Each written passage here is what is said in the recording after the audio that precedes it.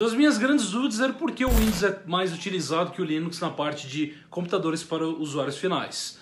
Eu meio que já saquei a ideia, né? E hoje eu queria trocar uma, uma ideia com você, passar um pouco do que eu penso. Tá? Não quer dizer que é o mais correto, mas eu queria trocar essa ideia com você. Bom, eu creio que o Windows ele meio que ele soube aproveitar, né? A Microsoft, na verdade, eles soube, soube, souberam aproveitar o momento onde o hardware era o esquema do negócio da época, eles conseguiram inserir o software como esquema da época. Eles aproveitaram bem essa, essa época aí, que era lá no final dos anos 70, tá?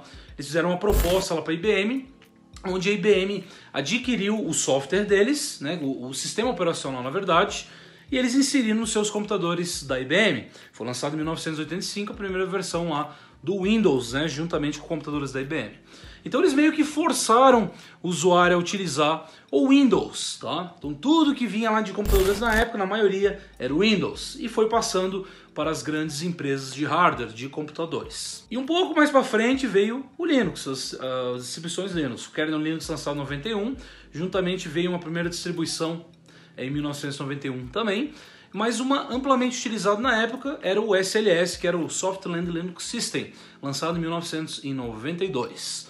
É, uma grande base de usuários nerds né, passaram a utilizar o Softland Linux System, só que ele continha muitos bugs, tá? E aí que vieram outras distribuições, uma delas é, que foi forcado né, do SLS foi o Slackware, tá? Foi criado o Slackware aí, onde o Patrick ele corrigiu vários bugs, tá? Uma pequena história rapidamente. Então, basicamente, é, como o Windows ele forçou o usuário a, e força até hoje, porque se a gente for em qualquer lojinha aí da esquina, a gente vai ter computadores à venda com o quê? Com Windows. Se você for comprar um, um computador usado de alguém ou até mesmo uma loja técnica, vai vir com o quê? Normalmente com Windows, tá?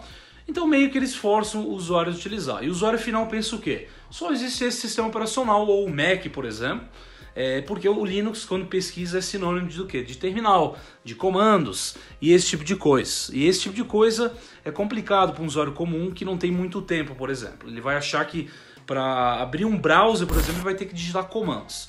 E não é bem assim, tá?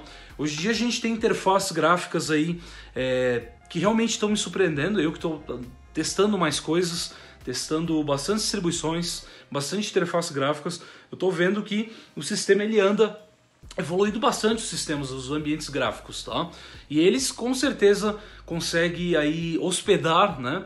Trazer, se um usuário de Windows vir para o Linux, para alguma distribuição Linux voltado para leigos, ele não vai ter tanto, tanta complicação pela frente, vai ser bem mais fácil até que o próprio Windows, tá? Mas infelizmente o usuário final é complicado. Uma outra, outra parte também é a questão de jogos, né? O pessoal acha que não tem tantos jogos para Linux e tal, mas a gente tem que saber que na sua grande maioria os jogos estão aonde? Estão lá na Steam. E a gente tem em qualquer distribuição Linux a Steam instalado. E na sua grande maioria a gente consegue é, rodar os jogos lá ou emular jogos que são do Windows. É claro que você vai perder, principalmente quando é emulado para o Windows, você vai perder um pouco de FPS, por exemplo, tá? Mas é, você vai conseguir rodar tranquilamente. Então a questão final é, é, o, é o que? Se na, na, época tá, o Linux fosse viesse nos computadores, se fosse é, a IBM fizesse uma oferta lá para o Linus Torvald junto com, com o Richard Stallman para inserir esses sistemas, uh, sistemas, esse sistema operacional ou sistemas é, lá numa, num computador da IBM, tá?